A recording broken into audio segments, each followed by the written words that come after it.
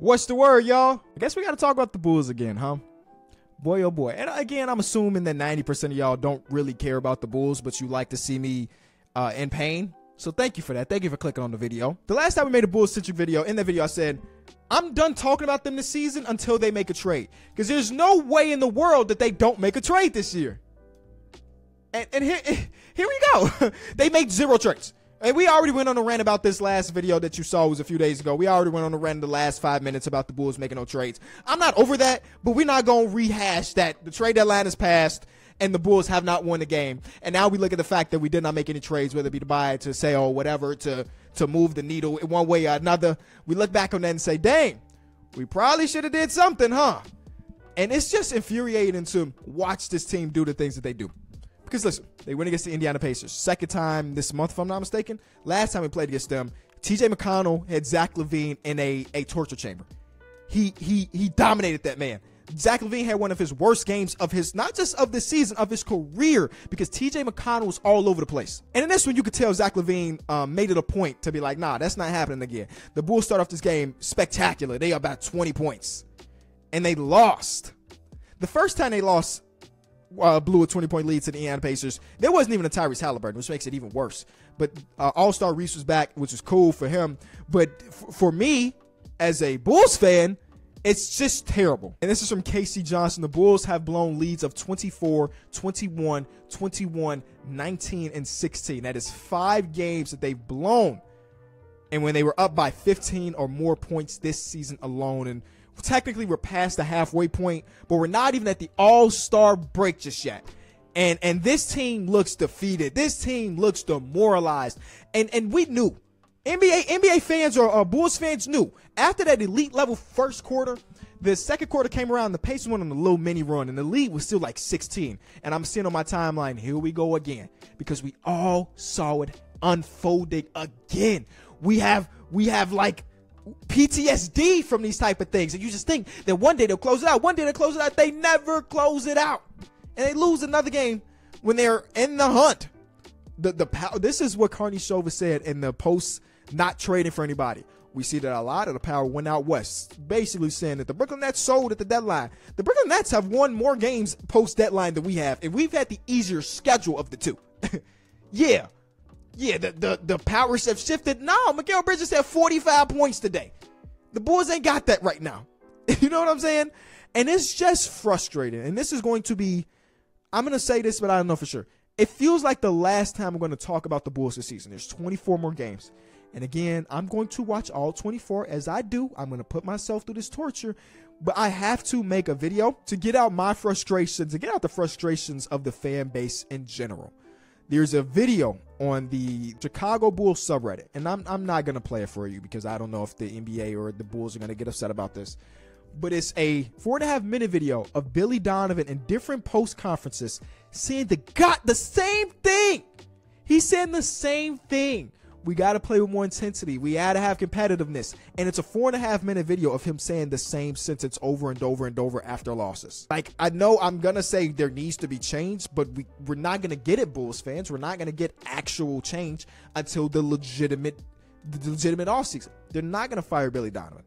They just signed an, ex- they gave him an extension this offseason. They kept it on the low low. They kept it on the hush, y'all. We didn't find out that this man signed an extension until we was into this season. But he signed it five months ago, five months previously. So they're not about to fire this man. This is the this is the way of the Chicago Bulls. They keep people around for way too long, and I, I, I, honestly do believe that he's lost the locker room. There's rumors about him and Zach LaVine clashing after a few months ago. Zach LaVine was benched in a game where he was having a terrible, terrible night. Zach LaVine said, "Hey, I think I have have showed the world that I deserve to be out there, even if I'm not having a good night. And I understand where Zach LaVine is coming from, but that game specifically, he was killing us. And I even tweeted in that game, Billy, get Zach out the game. And Billy did. Like he like somebody was looking at my tweets, you know what I'm saying, on the sideline. No, he did. And it might have caused a ripple between their relationship. Today, Zach LaVine played a, a, phenomenal game for uh, what I want to say was it a 48 minute game, right? He played a phenomenal game for 45 minutes. And those last couple, because the, the, the Pacers are coming back and there's no DeMar DeRozan in this one, nobody else in the Bulls looks to do anything with the ball. He felt like he needed to be hero. And the last shot he attempted was the definition of hero ball. Shout out to Hero Ball, a series that I had executive produced, and it's coming back for y'all that, that's been waiting for. It's coming back very, very soon. Um, and he took a heavily contested bad shot. The defense was bad, and ultimately we blew another 20 point lead. I don't know. I'm, I'm looking at this video. I forgot to mention one crucial, crucial part of this, and it's that the offense is awful, which makes no sense. We have DeMar DeRozan, Zach LaVine, and Vucevic. These are three supposed to be offensive juggernauts, and they can't score. They scored under 100 points in the, in the last two weeks, I think four different times. The defense, for the most part, this season has been solid. You know what I'm saying? I think they're top 10 in defense, but the offense is like 24th. What sense does that? That that's now that alone has to come down to coaching, right? But like that that has to be a coaching problem. That you have all of these these supreme offensive weapons and you still cannot score. And, and anytime the Bulls do anything bad or start losing, you obviously my mentions are like some Pacers fans are coming in like, oh Kenny, ha, you know that's the way it works. You know what I'm saying? I've accepted that when my team loses, the opposing fan base is gonna come into my mentions and talk trash. That's fine. I'm okay with that. But the, the, the stuff that sucks more is the uh, the Bulls fans that are you know in this with me, like Kenny. I don't even know what I want us to do, and I swear I'm in the same exact boat as you. I'm in the same exact boat as you. Now that we now we know we can't do anything this season, right? Whatever happens to that pick, this top four protector, so be it. I, I don't care about it. I mean, when the lottery happens and it says the seventh overall pick goes to the Orlando Magic by the way of the Chicago Bulls, I've accepted. I'm not even gonna be mad at it because we ain't getting Vic, we ain't getting Scoot, whatever. Post that what do the Bulls do to give hope again? Because right now, within the fan base, there is no hope. There's the, the, the, connector, our connecting piece, Lonzo Ball. We don't know anything about him. And he was the last grain of hope within the fan base. And I, I think a majority of us have come to the realization that he's just not going to play the season, whatever. Um, but he was one of the last pieces of hope. So if we could just hold it together till Zo comes back, we'll go back on that great run. In reality, we all I knew I've been saying this at the beginning of the season. He was not coming back this year. So now we don't got that hope. We didn't make any trades the deadline. So many of us are prepared for this this offseason to be like, oh, Ayo Dosunmu, Chicago's very own. He probably gonna be on a different team. Coby White, who's been having a phenomenal season off the bench, he's probably gonna be on a different team. Vucevic, oh, we gonna extend Vuce. We might see a, a tweet in the next the next 48 hours, no, not that soon, but the next couple weeks of the Bulls extending Vucevic because the deadline to get extended is like March, whatever. So then we're to be committing again to, to, to maybe not this core exactly between Zach LaVine, DeMar DeRozan, and Vooch, but Vooch in itself. And again, Vooch is not having a bad season. I think Vooch is having an underrated season because because we're always going to compare it to Franz Wagner, Wendell Carter, and that additional first round pick that we gave up. You're always going to compare it to that. And he's not having an all star season like the, the version of him we traded for, but he's undoubtedly having a better season than he was last season. So he's been good, but I don't want him back. We pigeonholed ourselves to the point we basically have to because Chicago Bulls don't go into the luxury tax. So if we let Vucevic walk, our center position for next season is somebody on the minimum. JaVale McGee, welcome to Chicago type stuff, you know? So we basically committed ourselves to mediocrity again. And and that has been the definition of the Chicago Bulls post Derrick Rose ACL injury. That's just who we have been. And it's obviously it sucks because I'm supporting this team, but it's not it's not a unique feeling.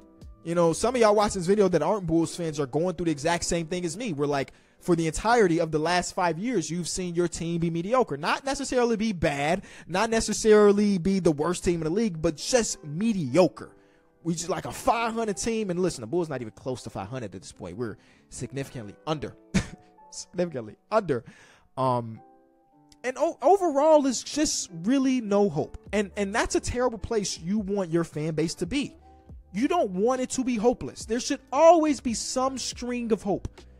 And and I think my last string of hope for my Chicago Bulls is Patrick Williams. You know, year three of his NBA career, year two was completely taken away from him. He, he played a handful of games after he got injured against the Knicks in the first two weeks.